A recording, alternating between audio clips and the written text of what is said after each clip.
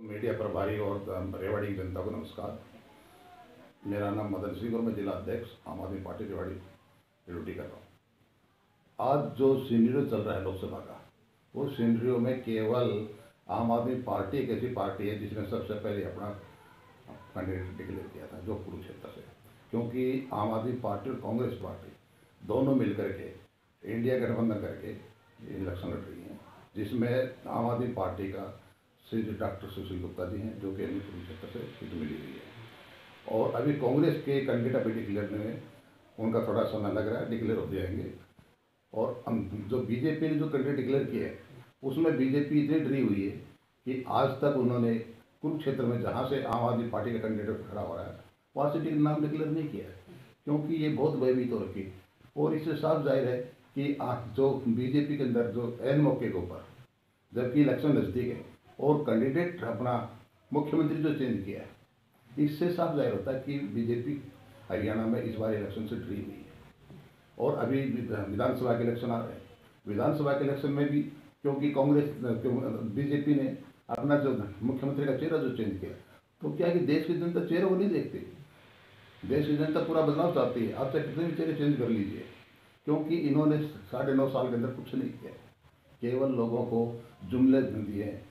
बाकी इन्होंने कुछ नहीं किया। इसलिए जनता बेरोजगारी बढ़ती गई है और जिससे जनता बहुत त्रस है, महँगाई देख लीजिए अब कहाँ पे है। उसके बाद आप किसानों को देख लीजिए, किसानों को एमएसपी देने की बजाय है उन्होंने पर लाठियाँ चलाई हैं, गोलियाँ चलाई हैं। तो ये कोई अच्छी बात नहीं है। तो जनता इस बार बीजेपी को उखाड़ फेंकेगी और लोकसभा चुनाव के अंदर जो दस सीटें हैं, दस की दस सीटें कांग्रेस और जो आम आदमी पार्टी का गठबंधन इंडिया है वो हरियाणा की सीटें लेके जाएगा इससे बीजेपी को ये क्लियर पता है कि इस बार हम हरियाणा के अंदर नहीं है। लेकिन फिर भी बीजेपी अपने काम कर रही है।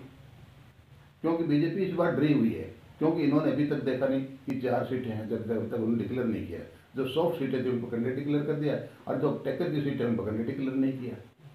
इन्होंने नायब सिंह सैनी को जो बनाया, नायब सिंह सैनी के इलाके में रहता हूँ। कुरुक्षेत्र में क्यों मेरी ड्यूटी लगी वहाँ पे। तो वहाँ पे मैंने देखा कि सिंह सैनी का ऐसा कुछ होल्ड नहीं है, क्योंकि वहाँ पूरे पूरे गाँव में सैनियों के हैं। और इस बार उन सैनियों से बात करने से पता चलता है, इस बार इनका बीजेपी का सुपड़ा साहब है। धन्यवाद। इस पे जनता जनार्दन है, जनता इस बार मूड बना रखा है, बदलाव के मूड में है जनता। और बीजेपी को साफ़ पता है कि जनता बदलाव के मूड में है। और जनता इस बार की राजनीति को चेंज करेगी। देखो जी, बीजेपी ने जो अभी नई जो मुख्यमंत्री की घोषणा की, वो बिल्कुल गलत की गलत की गई है। क्योंकि इन्होंने केवल चेहरा बदला है नायब सिंह सैनी को इन्होंने हथियार बनाया है। क्योंकि ये कहीं न कहीं खट्टर साहब को निकालना चाहते थे। तो नायब सिंह सैनी को इन्होंने चेहरा बनाया है। बाकी बीजेपी इतनी डरी हुई है, क्योंकि अगर उन्होंने अगर मुख्यमंत्री बनाना था तो साउथ हरियाणा का बनाना चाहिए था। ताकि साउथ हरियाणा का भी नंबर आता। अब इन्होंने जो बनाया है, जो राव साहब हैं, इंद्रजीत जी, इनको बिल्कुल दरकिनार कर दिया इन्होंने। क्यों? इंद्रजीत जी सबसे सीनियर थे, अनिल विज जी सबसे सीनियर थे तो बीजेपी को इन्हें बनाना चाहिए सीएम तो इससे साफ़ जा रही है कि बीजेपी डिसाइड नहीं कर पा रही कोई चीज़ को, क्योंकि वो डरी हुई है। क्योंकि इन्होंने नौ दस साल के अंदर जितना जुमला फेंके ये जितनी कंपनी से इन्होंने चंदा लिया है, जो कि इलेक्ट्रो बोर्ड का आप सुन रहे होंगे भी। तो साढ़े छः हज़ार इकसठ करोड़ का चंदा है। वो चंदा कहाँ से आया? बैकडोर से आया। ब्लैक मनी है।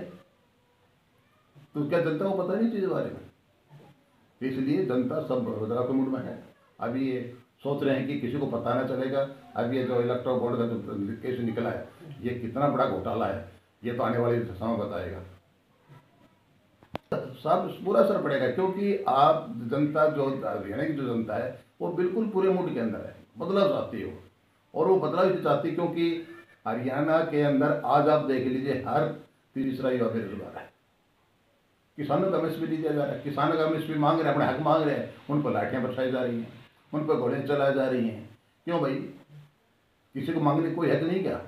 अभी बोला सिलेंडर के नौ, साढ़े नौ साल तक लूटा और सौ रुपये करके बैठी गोली दे दी, बोला सौ रुपये हमने कम कर दी सिलेंडर। तो क्या जनता समझती नहीं है?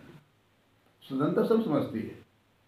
इसलिए यहाँ मोदी साहब को भी पता है और खट्टर साहब को बदला इसलिए गया है कि नायब सिंह सैनी जो को लेकर आए उनके नायब सिंह सैनी के अंदर हथियार रख दिया इन्होंने।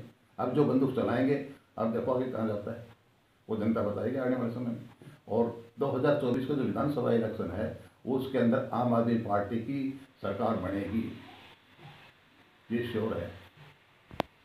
हरियाणा में आम आदमी पार्टी को कांग्रेस गठबंधन ने एक सीट दी है, वो हंड्रेड परसेंट निकल रही है। बाकी नौ की नौ सीट कांग्रेस जीतेगी। सभी साथियों को, पार्टी के कार्यकर्ताओं को, सबको मैं होली के पर बहुत बहुत बधाई देता हूँ और मैं भगवान से अरदास करता हूँ कि इस होली के मिलन में जो भाईचारे का मिलन है, इसमें बैर भाव को मिटा करके एक दूसरे के प्यार से और मैं तो ये कहता हूँ कि भाई, पार्टी आती जाती रहती है, इलेक्शन आते जाते रहते भाईचारा खत्म मत करो कभी भी। हमेशा भाईचारा को बना के रखो और होली का त्यौहार एक ऐसा है कि जो गले से सारे भूल करके आप एक दूसरे को गले मिलो। दोबारा मेरी तरफ़ से होली की हार्दिक बधाई और बड़ी शुभकामनाएँ।